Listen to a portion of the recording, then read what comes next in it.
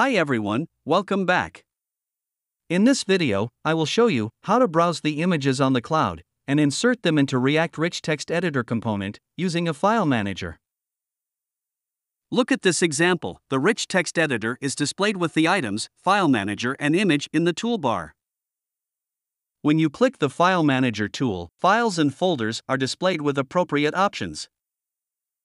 Here, I will select the image and click the Insert button. The selected image is added to the editor. Okay, let me show you how to browse images on the cloud and insert them in the React RTE using my existing React application. First, I open the application where I have added the React Rich Text Editor with HTML elements. Furthermore, I also imported required modules from the Syncfusion EJ2 React Rich Text Editor package and injected them here. Follow the link provided in the card to learn the basics of adding a React Rich Text Editor component to a React app. Now, I will run this example using the command npm start. When you look at the rich text editor, you will see the content and default toolbar items. Next, I will show you how to add the File Manager tool to the toolbar. I am going to add the File Manager and image items to the toolbar. So, first, I define an object variable, custom toolbar, with the items array. I add File Manager and image items in this items array. Then, I assign this object variable to the toolbar settings property. Since I have added the File Manager option in the toolbar, I need to import the File Manager module from the Syncfusion EJ2 React Rich Text Editor package and inject the same module inside the services property. I also make sure that the toolbar and image modules are imported and injected here. Looking at the output page now, the RTE toolbar is displayed with File Manager and Images tools.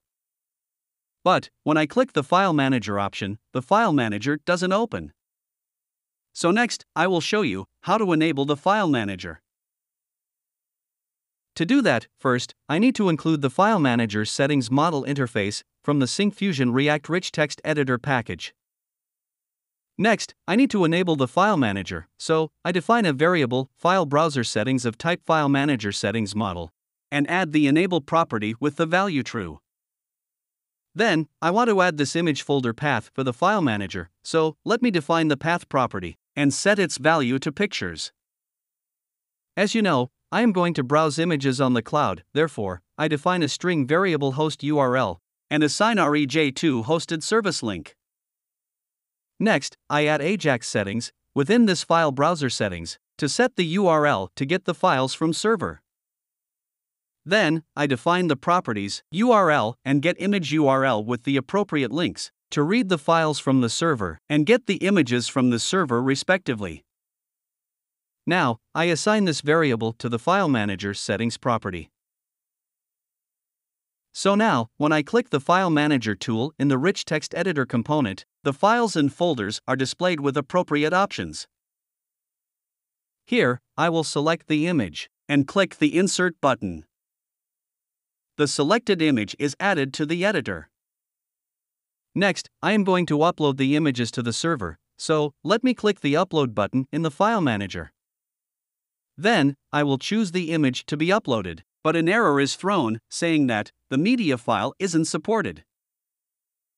Similarly, if I click the Download option after selecting the image, it is not possible to download that image from the server.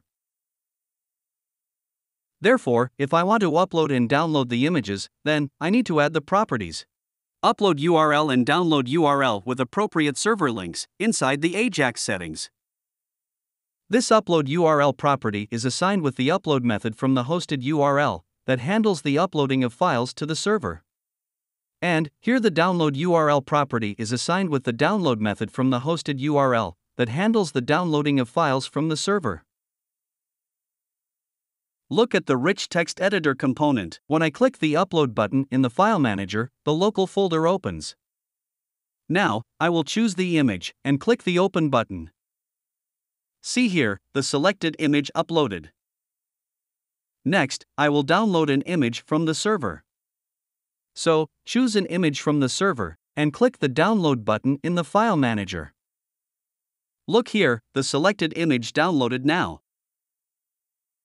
In this video, we have seen how to browse images on the cloud and insert them into a Syncfusion React Rich Text Editor component using a file browser. Also, we saw how to upload the image to the server and download the image from the server. If you would like to see a working example, you can download one from the GitHub link shared in the description below. You can also check if you qualify for our community license, giving you a free license key for our entire React suite, with the link in the description. If you found this video useful, don't forget to click the like button and subscribe to our channel to watch more videos like this. Thanks for watching.